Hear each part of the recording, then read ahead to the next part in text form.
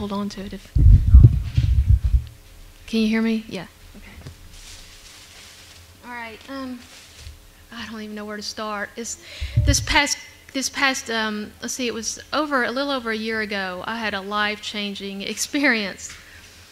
I guess I'll start with the the things I did wrong first, and then we'll get to the good stuff. um, I had a lot of well, I was diagnosed with bipolar years ago, and I'd like for you to know that there is no such thing as mental illness. I mean, there just is not. Um, it's a big lie from the devil. And um, and they just kept giving me medicine, and I thought, oh, well, this pill will work, or this, and then it never did. Of course, it didn't work. Then I'd go back to the psychiatrist, and I started realizing that they didn't know what they were talking about either. I mean, because they say, well, we'll just increase this, and nothing ever worked. Um, so I finally gave up on that, and then I started reading all kinds of nutrition books. Um, because I was just so, I was tired. I didn't have control of my emotions. Um, uh, let's see. So anyway, I would turn to all kinds of herbs there for a while. I was like, kava kava root, there's the answer. That, that'll calm me down. That'll give me um, rest and help me sleep at night. Only God can give us rest.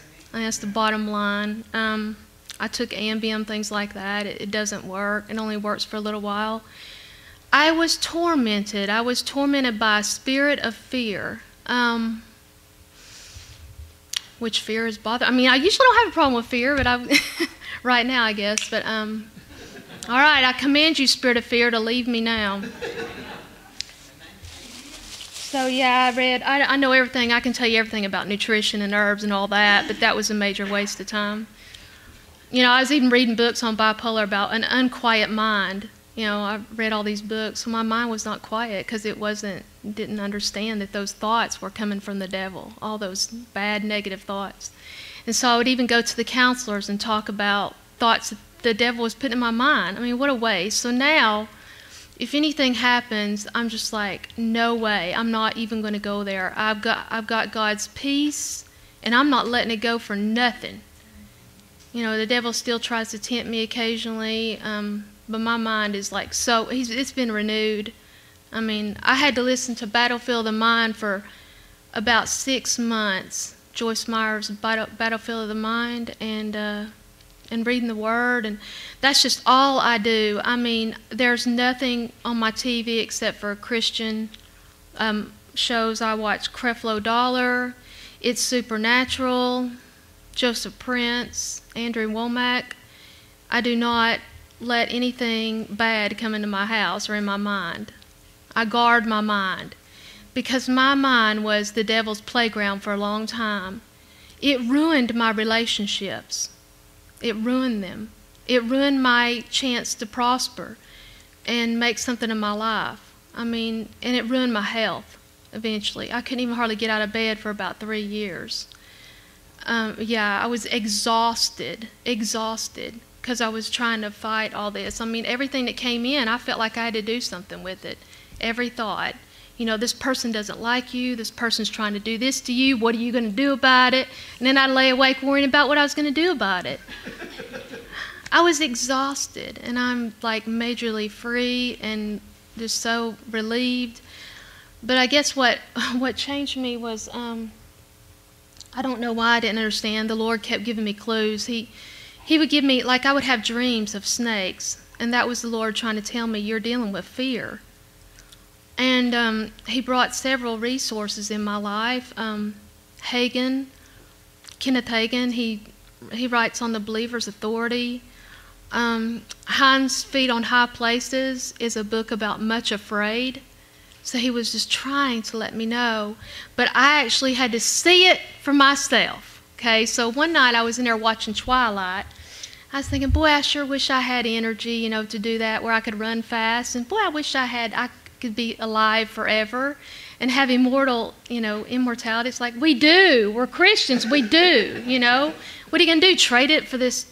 So here I am. I'm like drinking from the cup of demons. And then I'm like reading this book. I bought this book at Walmart because I always suspected it was something because I would read my Bible about, um, about casting out demons is in the Bible, and I always wondered. I knew the bipolar was that, but I didn't know. I never heard of deliverance ministry. And that changed me too, deliverance ministry. I just never heard. And also got up very angry at the church because I went here 13 years and you never said anything about the devil. I mean, you just didn't come out and say it. If you did, I missed it. But, you know, it's like I was mad. I left the church for a while and then, uh, then I went to that church and it was the wrong church. And the Lord gave me dreams that I was in a legalistic church that's another story because I was trying to be righteous in my own righteousness instead of God's righteousness. I mean, you can't wash makeup off your face and wear a dress and be righteous. It's what's it's it's just free and it's it's your heart. The, the Lord had to work on my heart. Um, I also know what a familiar spirit is. That is, for me, a familiar spirit was fear. I I had a dream where the snake was like right at my heart, and I guess Jesus, he was disguised. He looked kind of like a bum or something. He comes up to me and he said, Can I help you with that? And I said, No, it might hurt if you pull it out. It might hurt. And I was using fear because I had been so rejected and hurt all my growing up. I mean, I was rejected. I didn't have a father. I mean, and I, the stepfather I had, he hated me. He even tried to drown me one time. And so, um, I used fear to keep me from getting hurt. So I didn't form as close a relationship to my stepchildren as I should have because I was afraid they were going to hurt me. I, I didn't want people to hurt me. But that was the biggest lie ever because that was just the biggest lie. I mean, I, I so finally I'm like, get away from me, fear. Let's get this. I finally did in a dream, pull the snake off, and I was delivered, and um, it's wonderful. So perfect love cast out fear. I had to say over and over again, um, it is written, I do not have a spirit of fear, but I have a spirit of power, love, and of sound mind. You know, and I really, uh, somebody had given me that verse several, a couple of years back, even before I finally got woke up. You know, and I believed, I was like, you know, the Bible says I should have a sound mind. And that was just, I almost had enough information, but like I said, I actually had to see the Spirit. So I was watching Twilight, and then I bought this book, which I would not recommend this book. it was Prayers That Rout Demons and Break Curses. And um, so I'm reading it, you know, I, I do believe so I'm like trying to cast demons out. I hadn't really seen one, but I just kind of know. I'm like, I suspect that's what's going on with me. So I made them mad. You know, I made the demons mad. So if you got demons in your house and you pick up this book and you start reading it, get ready, you know. And, and, I mean, if you if you don't know who you are in Christ, I had to I had to know who I was in Christ and everything. But um, I got woke up where I could not speak, I couldn't move. It attacked me. I could feel I couldn't see it, but it was this weight on my chest. I couldn't speak, but I called out to Jesus in my mind. Now, I didn't call out to Buddha and I didn't call out to, I'm telling you, Jesus is the only one. I mean, I knew to call it to Jesus. And Jesus delivered me, and I've actually had to do that several times because the devil didn't want me to get free.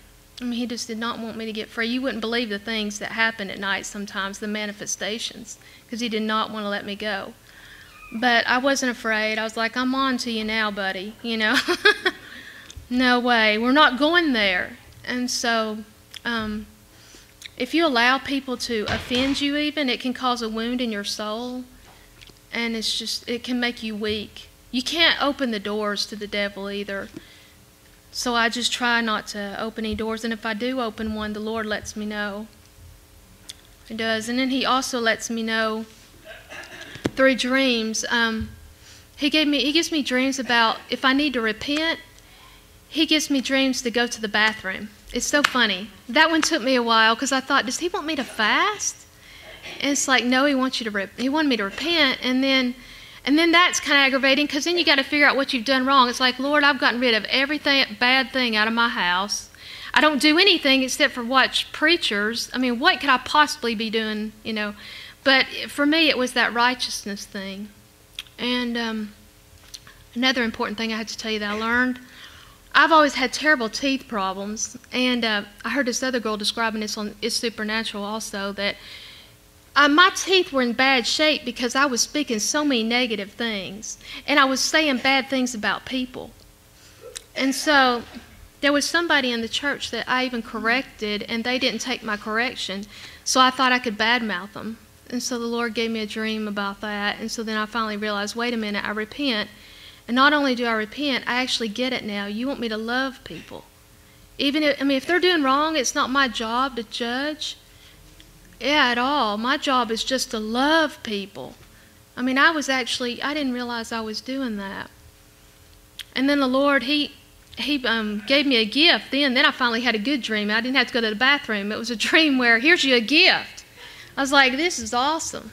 Um, the Lord has a sense of humor too, buddy, because one day I was telling Mark, I said, well, I think the Lord had to make women. He had to make he had to kind of perfect his creation and it's women. Because we know how to have a relationship with the Lord and we seek after the Lord and you know, we're just really all relationship and he, he just had to perfect it. And so then I had a dream that a log fell down on me and then I realized it didn't land on me, it was like right in front of me. I realized, okay, get the log out of your eye. So I realized, you know, I need to work on my relationship. So if you have any any um, information about hearing the, the Lord's voice or being spirit led or relationship stuff, you can give me some advice because I'm still learning. Um, and one more thing, just one more thing I want to add, because the Lord told me to do this in a dream. Um, when I when all that first happened, I started reading over deliverance ministry. The Great Bible Study was like the best resource online um, I started, uh, I went to Abba's house because they have deliverance ministry there and they helped me out a whole lot. And at first they said, Do you have any Freemasonry in your background? Any masonry? I said, Not that I know of. And she said, Well, you probably do because this country, a lot of the forefathers were, just, they, they were in the masonry. So let's just go ahead and renounce all that. So anyway, I, I did over going back to when I first got delivered. I mean, I repented of everything I could think of. You know, I just went ahead and got it all out. Got, I, I wanted to get everything right with the Lord and get my heart right with the Lord. So I repented of everything I could think of. But we did. We renounced all the masonry vows because um, higher up, a lot of me and Mark struggled with that. We were like, how in the world can people be involved in masonry, people that go to church that we love and they're Christian. Of course, now I did a lot of things. Yeah, I forgot to tell you, I, I turned to a lot of wrong things and didn't know it. And we just finally decided maybe they don't know. But the higher up you go in the masonry, they finally admit to you, they say that you're worshiping Lucifer. So I think they just don't know. So, yeah, so, um, but yeah, I, oh, one more thing. I'm sorry. One more thing. Um, it's funny, though, the things that I actually had faith in instead of having faith in Jesus and the promises, the Bible promises, you know, that little book that's got all these promises in it. We can believe every single one of these. But it's funny, the things that I would believe before that. I would go to acupuncture and think that was going to help me. And I mean, just the craziest things. Instead, now I'm like, I know who I can turn to and I can believe. So it's a different person. And I hope I covered everything. Okay. Does anybody have any questions? How long did I go? okay. Bible promise book. How long was it? Okay. Alrighty. Yes.